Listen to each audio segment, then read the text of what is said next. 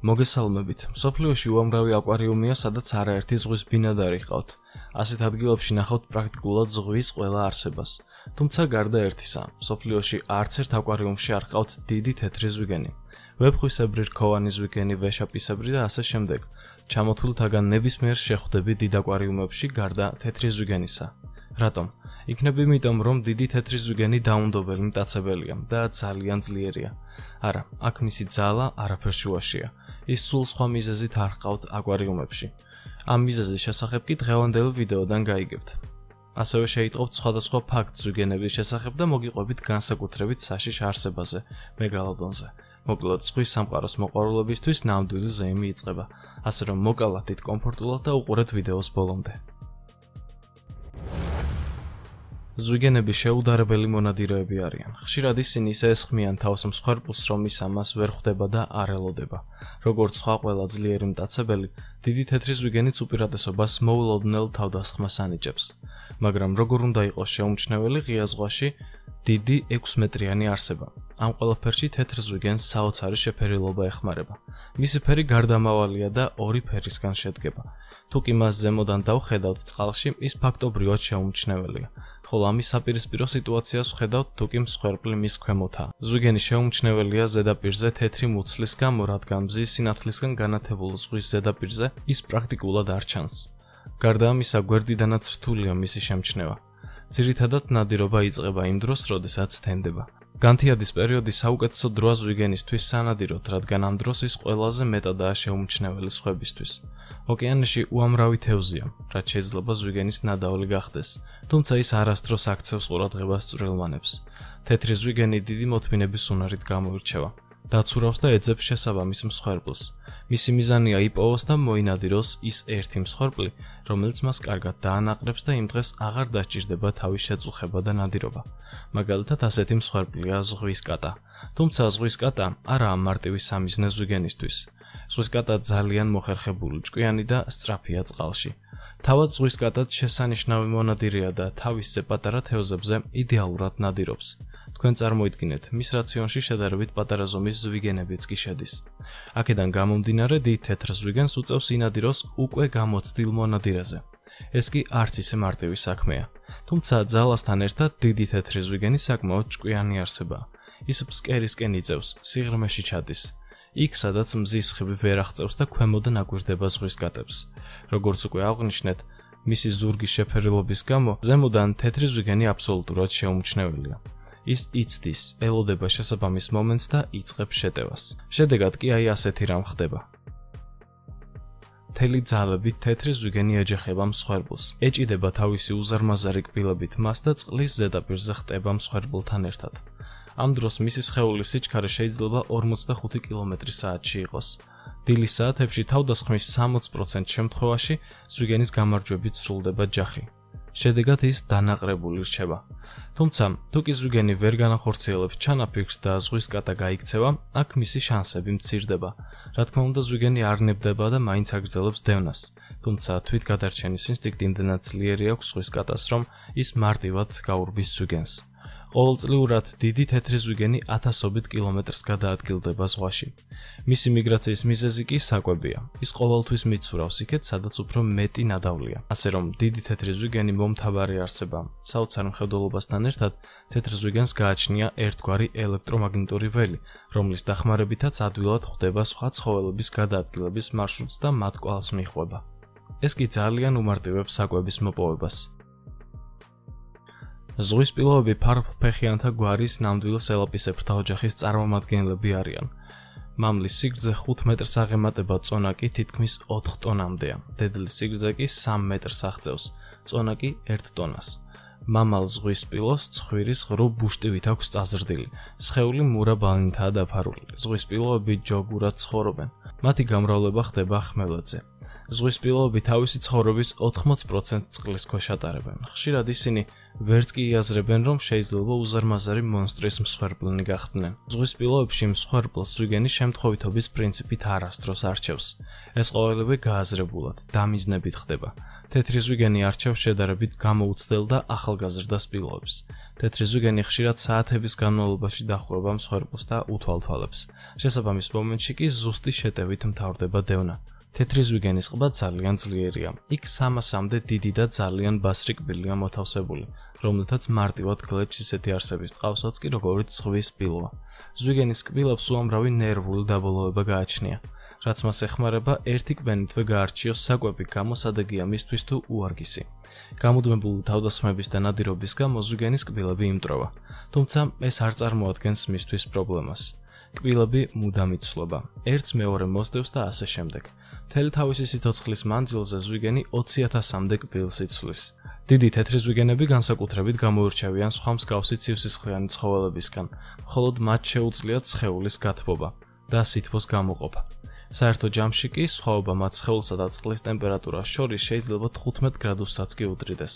შესაბამისად, სითბო მას ეხმარება არ დახარჯოს ზედმეტი ენერგია გათბობაში და ამ ენერგიას ნადირობისთვის იყენებს. მისი თვითგათბობის წუნარი ასევე ეხმარება ისეთ წყლებში გაცუროს, სადაც როგორც წესი სხვა მსგავსი თევზები ვერ დაცურავენ. ამით კი ის აფართოებს თავის საცხოვრებელ და სანადირო არეალს. ამის გამო ის სიღრმეში 1000 მეტრამდეც კი ჩადის. ასეთ დროს მას განსაკუთრებით მეტი საკვები სჭირდება ენერგიის შესანარჩუნებლად. საშუალო წელიწადში 30 ტონა საკვებს მოიხმარს დიდი თეთრი ზვიგენი. ყველაზე ხშირად დიდი თეთრი ზვიგენი მკვდარ უზარმაზარ ლურჯ ვეშაპს ჭამს, რომლის სხეულიც ხშირად წყლის ზედაპირზე დაცურავს სიკვდილის შემდეგ. ვეშაპის ცხიმი ეხმარება ზვიგენს შეინარჩუნოს ენერგია. იმის გამო რომ თეთრ ზვიგენს ძლიერი ყბა აქვს, მას შეუძლია ერთი კბენით 10 კილომდე ქონის ნაჭერი მოაჭამოს მკვდარ ვეშაპს. საბოლოოდ ასე ავსებს კუჭს, სადაც 150 კილომდე საკვები ეტევა. თითქმის 30 წელი სჭირდება დიდ თეთრ ზვიგენს, რომ ზრდასრულ ასაკს მიაღწიოს. დიდი თეთრი ზვიგენი ერთ-ერთი ყველაზე ხანგრძლივად მცხოვრები თევზია ზღვის არსებებს შორის. საშუალოდ მისი ცხოვრების პერიოდი 70 წელს ითვლის. სხვა ყველა ზვიგენებთან შედარებით სწორედ დიდი თეთრი ზვიგენი ესხმის თავს ხშირად ადამიანს. თუმცა ადამიანი მისთვის განსაკუთრებულ ინტერესის სფეროს არ წარმოადგენს. ზვიგენს ბევრად უფრო ცხიმიანი საკვები უყვარს, შესაბამისად მას, რა თქმა უნდა, მკვდარი ვეშაპი ურჩევნია. ვისაუბროთ თეთრ ზვიგენებზე აკვარიუმში. ალბათ არავის ჭირდება იმის დამტკიცება, რომ დიდი თეთრი ზვიგენი ზღვის ბინადართაგან ერთ-ერთი ყველაზე საშიში არსებაა და სწორედ ამაზე ვისაუბრეთ ჩვენ ზემოთ.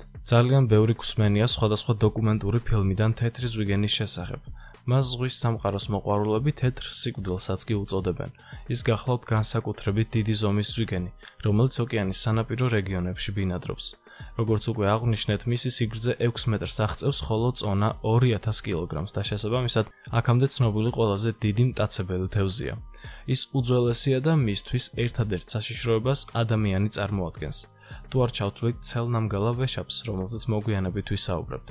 ამ უკანასკნელის დიეტა თეთრი ზვიგენის მსგავსია, თუმცა მათ შორის ურთიერთობა იშვიათია და ამგვარად ისინი პირდაპირ კონკურენტები არ არიან. თეთრ ზვიგენთან შეხვედრას ერიდება ყველა და მხოლოდ განსაკუთრებით უშიშარი ადამიანები ახერხებენ შეხვდნენ ამ ზვიგენს წყლის ქვეშ, ისიც სპეციალური გისოსების დახმარებით.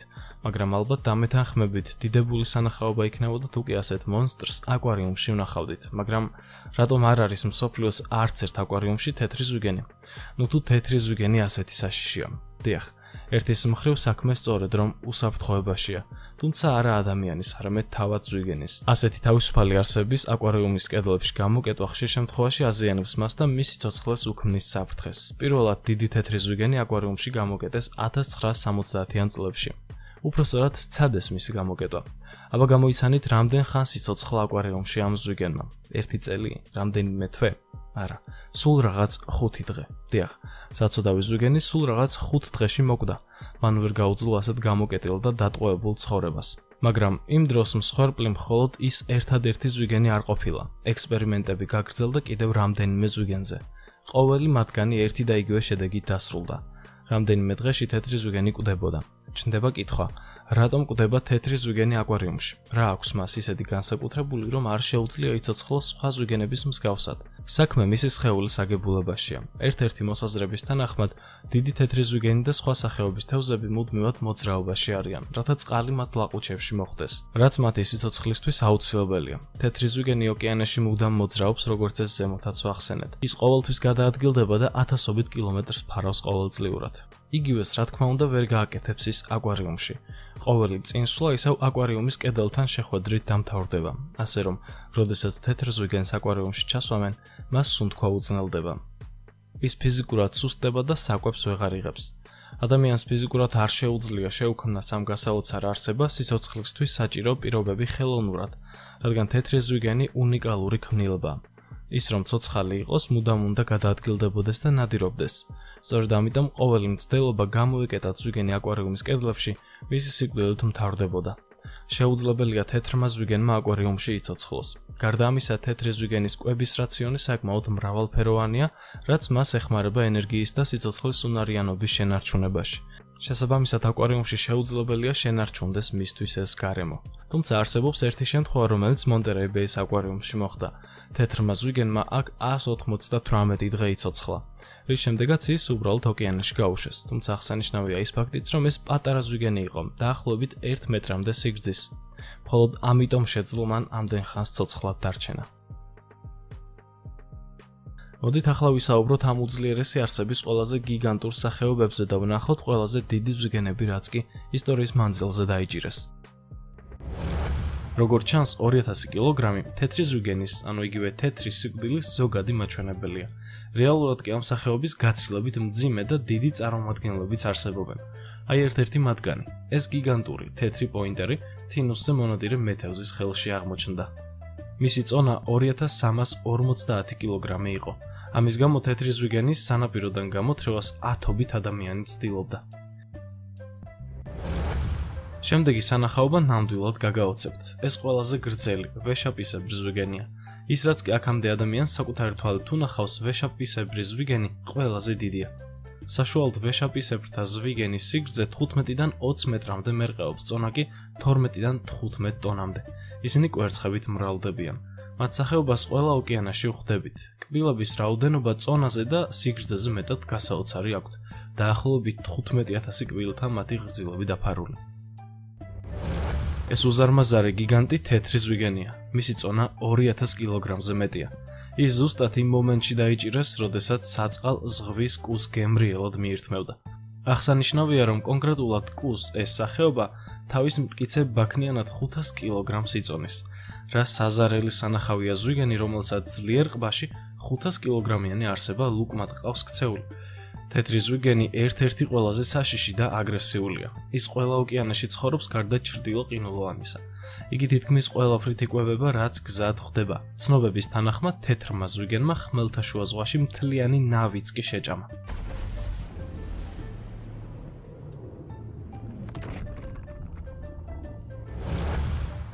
ალბათ თევზაობისას მეთევზე იშვიათად თუ მოელის გიგანტური თევზის დაჭერას. რა ხდება მაშინ, როცა ის უბრალოდ დიდ თევზს კი არა, ზვიგენს იჭერს? აი ერთი ასეთი შემთხვევაც. ამ მამაკაცმა ფაქტობრივად რეკორდი მოხსნა და დაიჭირა ერთ-ერთი ყველაზე აგრესიული, გიგანტური თეთრი ზვიგენი. თეთრი ზვიგენი ასევე ცნობილია შემდეგნაირი სახელობითაც: თეთრი პოინტერი, დიდი თეთრი ზვიგენია, თეთრი სიკვდილი. ის განსაკუთრებით დიდი ზომის ზვიგენია, რომელიც ოკეანის სანაპირო რეგიონებში ბინადრობს. მისი სიგრძე 6 მეტრს აღწევს, ხოლო წონა 2000 კილოგრამს, როგორც აღნიშნეთ, და იგი ყველაზე დიდი მტაცებელი თევზია ჩვენს პლანეტაზე. ვებხვისებრი ზვიგენი. ვებხვისებრი ზვიგენი ტროპიკულ წყლებშია გავრცელებული, თუმცა ძირითადად სანაპირო წყლებში ბინადრობს. მას არ უყვარს ღია ზღვა. სწორედ ამიტომაც ნაპირთან ახლოს მიდის, რაც ადამიანისთვის ძალიან სახიფათოა. თუმცა აღსანიშნავია ის, რომ ამ შემთხვევაში პირიქით მოხდა. ნაპირზე მისული ვებხვისებრი ზვიგენისთვის ადამიანები აღმოჩნდნენ საშიში და ის დაიჭირეს. მონადირებული ზვიგენი მისი სახეობის კვალობაზე გაცილებით დიდი აღმოჩნდა, რადგან მისი სიგრძე 6 მეტრს აღემატებოდა წონა კი 1525 კილოგრამს. საშუალოდ ვეფხვისებრი ზვიგენი სიგრძეში 3-დან 4 მეტრს აღწევს და მას ხარისებური ზვიგენის მსგავსად რთული ხასიათი აქვს. სახელწოდება ვეფხვისებრი ზვიგენი მის ხეულზე არსებული ზოლებიდან მომდინარეობს. ამ ზვიგენს ძალიან კარგი მადა აქვს. ის მიირთმევს ყველაფერს, რასაც ნახავს, მათ შორის ყლაპავს ისეთ საგნებსაც, რომლებიც არ იჭმევა. ვეფხვისებრი ზვიგენი ბინადრობს ავსტრალიის ჩრდილოეთ სანაპიროებსა და აზიის ტროპიკულ წყლებში, რომლებიც მნიშვნელოვანი ტურისტული ადგილებია. აქედან გამომდინარე ხშირია ამ ცხოველის კონტაქტი ადამიანთან, რაც ზრდის თავდასხმის ალბათობას. მიუხედავად ამისა, ერთ-ერთ იტალიელ მკვლევარს აღწერილი აქვს შემთხვევა, როდესაც ოკეანის კუნძულზე ბავშვები საკმაოდ მშვიდად თამაშობდნენ ვეფხვისებრ ზვიგენთან. ადამიანზე თავდასხმების რაოდენობით ვებხვისებრ ზვიგენს მეორე ადგილი უკავია. აი ეს ფოტო 1945 წელსაა გადაღებული და როგორც ამბობენ, ეს კადრი არის მტკიცებულობა იმისა, რომ კოჰიმარამას მონსტრი არსებობს და არსებობდა კიდეც ადრე. ძველ ფოტოებზე დაყრდნობით ექსპერტები შეთანხმდნენ იმაზე, რომ ეს ყველაზე დიდი და მძიმე ზვიგენია, რაც კი ოდესმე ადამიანს დაუჭერია. გამოიცანით, რამდენი კილოა ეს პრეისტორიული გიგანტი. გადმოცემის თანახმად, მის დაჭერას 6 მამაკაცი რამდენიმე დღის განმავლობაში ამაოდ ცდილობდა. თუმცა ისინი არ გაჩერდნენ იქამდე, სანამ გიგანტზე გამარჯვება არ მოიპოვეს. გაინტერესებს ზვიგენის წონა. ის 3175 კილოგრამს იწონიდა. მართლაც რომ შთამბეჭდავია. ამ შემთხვევამ თვით მეთევზეებიც გააკვირვა. ზოგადად თეთრი ზვიგენი ძალიან იშვიათად სტუმრობს კორტესის სხვას. ვეშაპების გამრავლების სეზონზე კი საერთოდ არ უნდა ველოდოთ მას. თუმცა გამონაკლისებიც არსებობს. მეთევზეები თეთრი ზვიგენის დანახვას სულაც არ ელოდნენ იმ დროს. ალბათ ვერც კი წარმოიდგენდნენ, რომ უბრალოდ ზვიგენს კი არა გიგანტს გადააწყდებოდნენ. უნამაკი თეთრი ზვიგენის კიდევ ერთი უზარმაზარი სახეობაა. ერთ-ერთი მათგანი კანადელმა მეთევზეებმა დაიჭრეს. ისინი გაოცებულნი იყვნენ და ამის მიზეზი ნამდვილად ჰქონდათ. თეთრი ზვიგენის ეს სახეობა იგივე უნამაკი 905 კილო იყო და თითქმის 5 მეტრი აღმოჩნდა სიგრძეში. როგორც ხედავთ, ყველაზე გიგანტური ზვიგენები მაინც თეთრ ზვიგენებში ჭარბობენ. ეს შემთხვევაც ამის დასტურია. ეს საოცარი არსება ბრაზილიაში ერთ-ერთ სანაპიროსთან ახლოს იპოვეს. თუმცა სანამ დაიჭერდნენ გიგანტურმა თეთრმა ზვიგენმა, ორი დელფინის და 6 პატარა ზვიგენის შეჭმა მოასწრო. სიმართლე რომ ვთქვათ, მისთვის ეს არც ისე ბევრი არ რადგან ის ხეულიდან გამომდინარე ასობით კილოგრამს აკვებს საჭიროებს. მისი წონა 2500 კილოგრამს აღემატებოდა და სიგრძე 5 მეტრამდე იყო. თეთრი ზვიგენის მთავარი მტერი, როგორც ზემოთ თქვით, ცელნამგალა ვეშაპია. მიუხედავად იმისა, რომ მათი გადაკვეთა იშვიათია, თუ კი ეს მაინც მოხდება, მაშინ ეს საშინელი ჯახით მთავრდება. ცელნამგალა ვეშაპი ზვიგენს უტევს და ხშირად ეს ხდება ან ჯგუფურად, ან ცალ-ცალკე. უმეტეს შემთხვევაში ცელნამგალათა ჯგუფი გამარჯვებული რჩება. ცელნამგალა ვეშაპი წყლის ძუძუმწოვარი ცხოველია, დელფინისებრთა ოჯახიდან. გავრცელებულია მსოფლიოს ყველა ოკეანეში, დაწყებული ცივი არქტიკული და ანტარქტიკული რაიონებიდან დამთავრებული ტროპიკული ზღვებით. ზღვის ბინადართა შორის ერთ-ერთ ყველაზე უფრო აგრესიულ ცხოველად ითვლება. მისი შეფერილობა კონტრასტულად მოშავო მოთეთრო ფერისაა. აქვს 13 სანტიმეტრამდე სიგრძის მასიური კბილები, მოკლე თავი, რომელიც მოფრთხელებულია ზემოთ. მამრის ხეულის სიგრძე 10 მეტრამდეა და წონა 7.5 ტონას აღწევს. დედრისკის შესაბამისად საშუალოდ 7 მეტრი, წონა კი 4 ტონამდე. ადამიანის მიმართ განსაკუთრებულ აგრესიას არ ამჟღავნებს. ცელნამგალა ვეშაპს მკვლელი ვეშაპი შეარქვეს. მას ტყუილად არ შეარქვეს ეს სახელი. ის მტაცებელი დელფინია, რომელიც ყველანაირი ცოცხალი არსებით იკვებება. თევზით დაწყებული მოლუსკებით დამთავრებული. და თუ ცელნამგალა დანაყრებულია ძალიან საყვარელი და მზრუნველია. იგი სხვა ვეშაპებზე ზრუნავს, მაგრამ თუ მშიერია, აქ სულ სხვაგვარადაა საქმე. მისთვის შინაური და გარეული არ არსებობს. ჭამს ყველაფერს ნებისმიერი ზომისას და წონისას.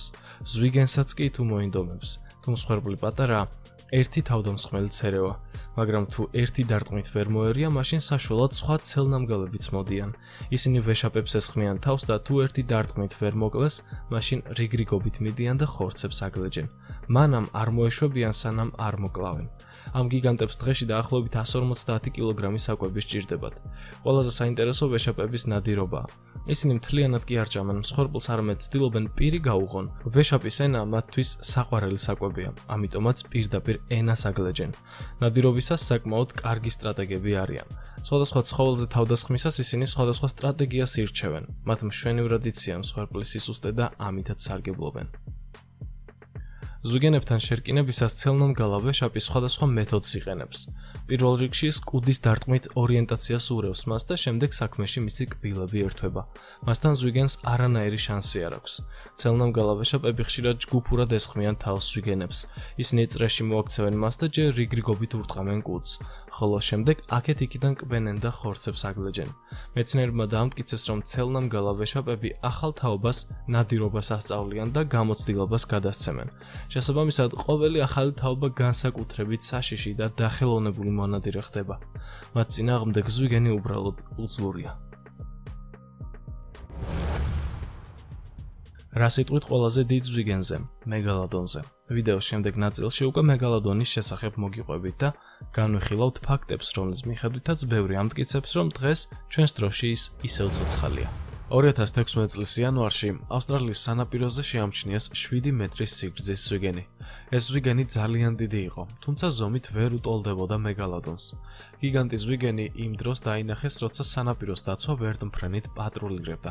სანაპიროს პატრულის თქმით ეს არსება იმდენად დიდი იყო, რომ მთელი ეკიპაჟი გაოცდა. ასევე აღსანიშნავია ის ფაქტიც, რომ გიგანტი ზვიგენი სანაპიროდან 100 მეტრში დააფიქსირეს. ამ დროს კი სანაპიროზე ხალხი იყო. სანაპიროს დაცვა მაშინვე საქმეს შეუდგა. სასტრაფოდ აცნობეს ეს საზოგადოებას და მოსალოდნელი საფრთხის შესახებ გააფრთხილეს ყველა. დაიწყეს ევაკუაცია. წყლიდან ამოვიდა ყველა ადამიანი. ისინი სანაპიროზე იდგნენ და თვალს ადევნებდნენ მოვლენებს. გაიჟღერა ვერსიამ, რომ ეს მეგალოდონის შვილი იყო. შედარებით პატარა მონსტრი. თუმცა, ესეც მათი ვერსია, ვინც ის დაინახა და იმ მომენტში ემოციებისგან აღარ იცოდნენ თუ რა ეთქვათ. ისინი ამტკიცებდნენ, რომ თუ კი ეს მეგალოდონის შვილი იყო, ახლომახლოს გამოჩნდებოდა ნამდვილი 16 მეტრის სიგრძის მეგალოდონიც, რომელსაც ვერ გადაურჩებოდა ვერავინ. სანაპიროს პატრულის თქმით ეს იყო ყველაზე დიდი ზვიგენი რაც კი ოდესმე უნახავთ. მათი სიტყვები კი უნდა დავიჯეროთ, რადგან ამ პროფესიის ადამიანს ძალიან ბევრი რამ აქვს ნანახი სხვა. Google-ში ვაწყდებით თანამგზავრიდან გადაღებულ სურათებს. შესაძლოა ეს სურათები გარკვეულ საიდუმლოებებსაც შეიცავდეს. საინტერესოა რას ხედავთ ამჯერად თანამგზავრიდან გადაღებულ სურათებზე. 2017 წელს ინტერნეტ სივრცეში გავრცელდა თანამგზავრული ფოტო, რომელზეც როგორც მეცნიერები ამბობენ, შესაძლოა გამოსახული იყოს მეგალოდონი. აი ეს ფოტო. ამ ფოტოს შესწავლის შემდეგ მეცნიერების ვარაუდით შესაძლოა ეს უზარმაზარი ზვიგენი 20 მეტრს აღწევდეს. ამ ზომებიდან გამომდინარე მივდივართ ვერსიამდე, რომ ეს შესაძლოა სწორედ ის გიგანტური მონსტრია, რომელზეც ჩვენ ვსაუბრობთ. რა არის ეს სინამდვილეში? თანამგზავრის ხარვეზია თუ რეალურად მეგალოდონია, რომელიც თანამგზავრმა დააფიქსირა. ვერსიები არ წყდებოდა იმ დროს, როდესაც ის გამოჩნდა. მოგვიანებით გაჩნდა დამატებით ინფორმაციაც, რომ ფოტო გადაღებული იყო სპარსეთის ყურეში და ეს არის ადგილი ირანსა და არაბეთის ნახევარკუნძულებს შორის. ის ჰორმუზის სრუტით უერთდება ომანის ყურეს, არაბეთის ზღვას და ინდოეთის ოკეანეს. სწორედ სპარსეთის ყურეში ჩაედინება ტიგროსი და ევფრატი. ამიტომაც გაჩნდა კიდევ ერთი კითხვა: შესაძლოა რომ ეს უბრალოდ რომელიმე მდინარის მონსტრი იყო და მეცნიერებს უბრალოდ ის შეეშალათ და მეგალოდონი ეგონათ. ეს უცნობია, მაგრამ ფაქტი ჩვენს წინაშეა. რაღაც დიდი, რომელიც ძალიან გავს მეგალოდონს. თუკი ამ ვიდეოდან რაიმე ახალი გაიგე, მაშინ აუცილებლად გაუზიარე ის ჩვენს მეგობრებს სოციალურ ქსელებში. მადლობთ რომ ბოლომდე უყურეთ ვიდეოს. დროებით.